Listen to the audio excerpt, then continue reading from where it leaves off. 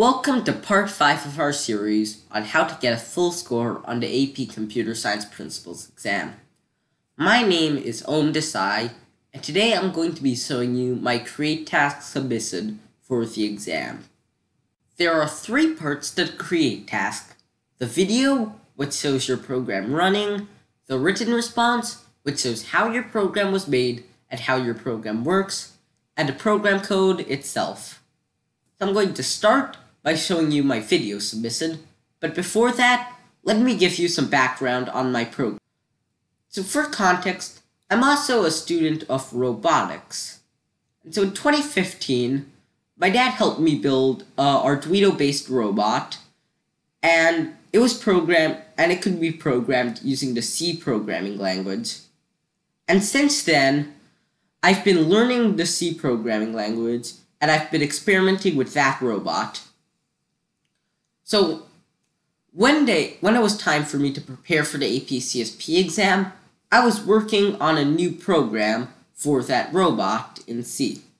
And I realized that the program I was making would have worked with all the requirements specified for the create task. It would have met every requirement. So I decided to use it. And that's why this program is more complicated than a lot of other programs you might see.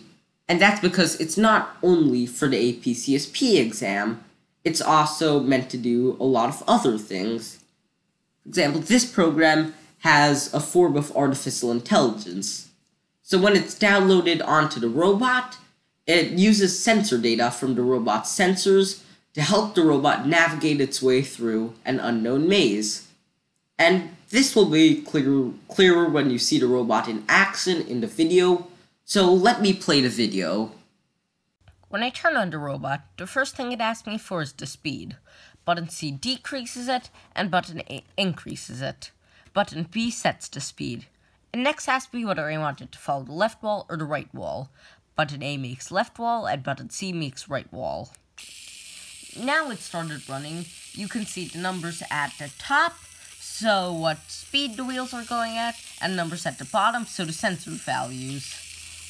Now, if we put a paper in front, we can see that the front sensor is sensing something, and that the robot is turning away. Now let's see the robot in action. Starting the robot now, it's using the proportional derivative algorithm that I wrote using C programming, and it's following the left wall. It tries to turn towards the wall, and if it gets too close, it turns away. Now you can see it turning on a dime, when, and it does that whenever it reaches a dead end. Now that you've seen my video, that you've seen my robot use artificial intelligence to make it through the maze, here is the code that the robot used to do that. Now, I'm not going to go through this code line by line. I'm more going to go through how you submit the code and how you format the code for submission. And so this, there's no template for this, but it does have to be submitted as a PDF. So what I did was I copied and pasted the code into a Word document, which I then converted into a PDF. So, the first thing you'll notice on the top is that I mark off what programming language I used, C programming, and you'll remember that I also marked this during the video, I mentioned this during the video, and that's because it's very important. The graders for the create task need to know what programming language you're using, so it's important that I put the C programming language in both the video and in the actual program. I also wrote what algorithm it used and what its purpose was, but these aren't as important. Next thing you'll notice is this part, and not every function you use in your program has to be your own. You can use libraries from outside sources if you give a correct credit to them. So for example, for this, I'm giving credit to Pololu Robotics because they're using they created libraries which I'm using for to access the sensors in the robots. Another thing you'll notice is that there's a lot of comments so I make a lot of comments to make reading the thing, into reading the program intuitive, and to make it easier to understand what everything in the program does. So adding the comments just makes the grader's life easier. I also formatted it, so I've put indents everywhere it needs to be indented. I've put spaces next to functions, so it's very easy to read, and it doesn't strain your eyes to read it. And you'll also notice that my main function has just, it just has a while loop, and it has four functions. And that's how it is with a lot of the stuff in here. So it's just little functions. So I don't write anything big. It just keeps it from getting too cluttered. So the program is very clean and uncluttered. And so as you can see, there's a lot of different functions, and I'm putting these functions into functions and other functions to make sure that isn't uncluttered. So there are two parts that you want to specifically mark off in your program. So one part you want to mark off with an oval. And the part that you mark off with the oval is a place where you put an algorithm inside an algorithm and your mathematical concepts. So in my case, I have the algorithm for driving the robot up here, and then I use many different mathematical algorithms inside it. And so I mark this off with an oval so that graders know which part of the code to look at and judge for algorithms inside algorithms and mathematical principles. One thing is that I've hidden this area of code just for this video because there are some values in here that I derived that I don't want everybody to see. So when I submitted my code, there wasn't anything hidden, and there shouldn't be anything hidden when you submit your code. The graders should be able to see everything there. Now if we head down a bit more, you can see a rectangle, and now the rectangle is there to mark off an abstraction. And so mine, in my case, these two functions are abstractions because I call them many different times throughout throughout the program. And if I didn't have if I didn't have these functions, then I'd have to write out all this code several different times, and this would make the program very cluttered and would make it harder to debug the program. Now let's move on to the written response. Now, let's start running through the written responses and matching them to the rubric. So the rubric has the same basic format as the Explore task rubric. So we have the scoring criteria, the decision rules, and the scoring notes. And all of them are have the same things as the Explore task rubric. So let's get started going through each part of the written task and matching that to the scoring criteria. So first task is 2A. So the first response is 2A. And the goal of this is that the video should demonstrate the running of at least one feature. And if you remember from the video, it did demonstrate the robot. It did demonstrate me pressing the buttons on the robot and it's showing different things, showing at least one feature running. And so the response audio narration should also identify the purpose of the program. So if you remember from the video, the audio narration does identify the purpose of the program, and my response for 2A also identifies the purpose of the program, saying that the purpose of the program is to build an intelligent robot to solve unknown mazes. So including this purpose in the response, the audio narration, and the written response gets me a point. To get to the point, you don't have to include it in both audio narration and written response, I just again included both in both just to be safe. The next category is row 2, which is for response 2b. So let's go down to response 2b.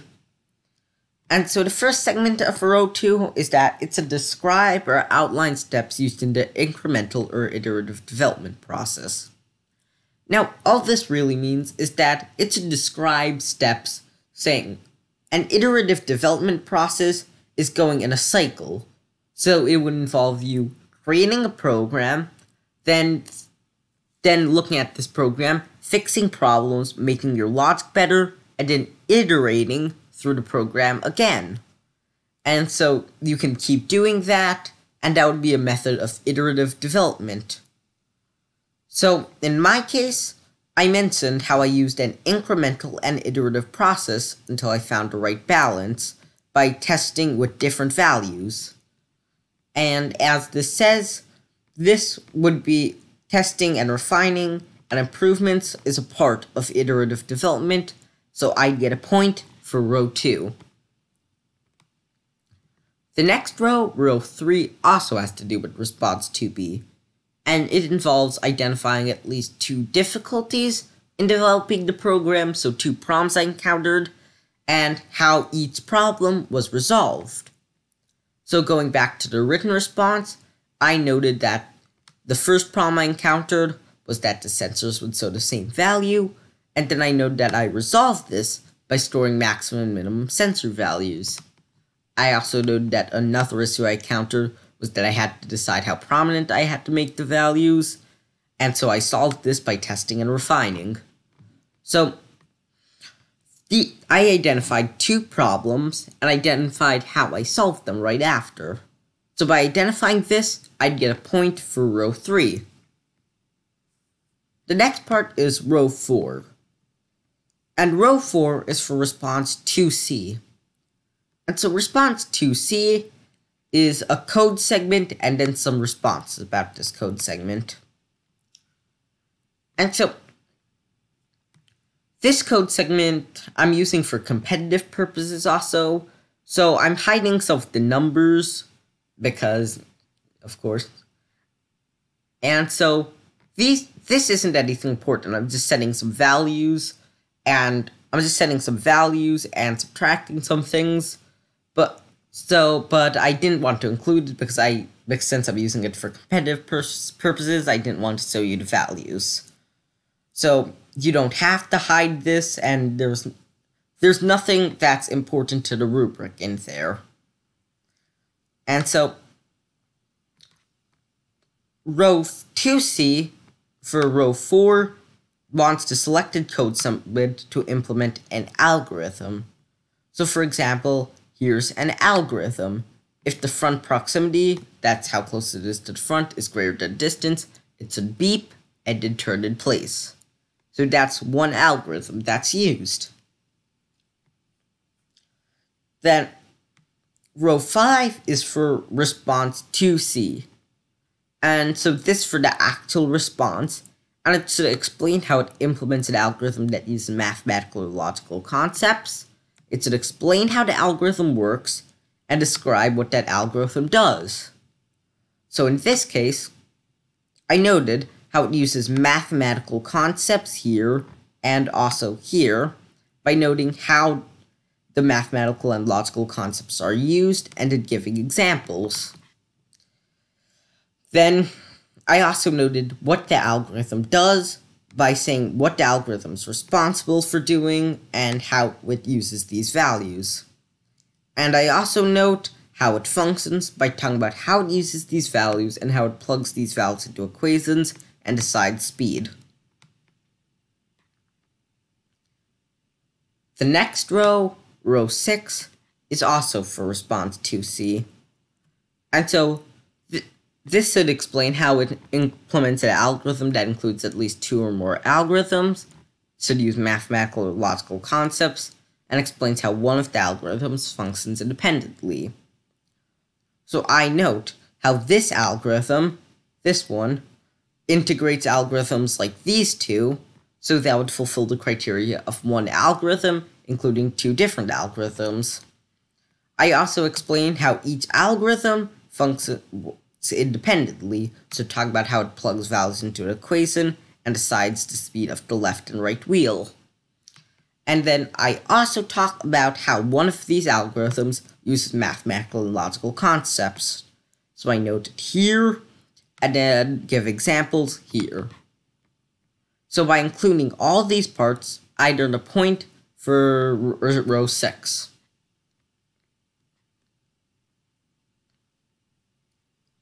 The next part is row 7, and that's for response 2D. Now response 2D also has a code segment in it, so I have to include a code segment and then write a response about how about how this code segment works and some question about the code segment. And so the first row has to deal with the code segment, and the selected code segment is a student developed abstraction. Now, I'm not going to go too in detail to abstractions, but for one example, using a function would be considered an abstraction because it isolates the user from the complexity of the program. So just so in this case, the function here would be considered an abstraction. And so a function is just something that it's you define a procedure and then you can use that procedure later on. So in this code segment, I define two procedures, both of which are used later on. So this would be an example of abstraction, and I would point for row 7 for applying abstractions. Row 8 is for the actual response, and this means that a response should explain how the abstraction manages complexity. So how I note it here is that I note what the abstraction does, and I also note how it ma helps manage the complexity here and give two reasons why it manages the complexity. So this is a lot like the explore task. So you just have to make sure that your program and your responses fulfill all of these criteria, and if they do, it should be fairly easy to get a full score in this task. There are three points that I want to bring up about this task. So the first point is that this whole thing is in a template, and you can find that template on the digital portfolio on the College Board website. And so I showed you that template on digital portfolio in part 3, if you remember. And so the template has boxes and so you can just copy and paste your answer into the boxes. And for the code segments, you can just take an image of your code, you can take a screenshot or snapshot or such, and then paste it into paste it into the box they provide for your code. And once you've done that, you can convert it all into a PDF so that you can submit it. The second point I want to bring up is that for this video, I hid this code because I don't want everybody to see the numbers. But when I actually submitted my program, I did not hide this code, so there wasn't a box here. And you shouldn't, when you're doing your program, you shouldn't hide any code either. All the code there should be visible to the graders. Nothing should be hidden. The third point I want to bring up is that your program or create task doesn't have to be as complicated as this. In fact, my thing is more complicated than most of the programs submitted for the create task. You can get a full score as long as it follows all the parts of the rubric. For example, the example I made in part 3 about the program that counts even and odd numbers as long as that follows all the parts in the rubric, that would have gotten a full score. That's all for the create task, and so we're wrapping up part 5. So next part, in part 6, I'm going to show you how I prepared for the written exam, and I'm going to show you some of the material that I used to study for it. I'm also going to give you links and references to some materials that will help you prepare. Most of them are free, but some of them cost a little money. So thank you for watching. And remember to subscribe to our channel so you're notified when new parts of this series come out and when more informative videos from our channel come out. See you in part 6.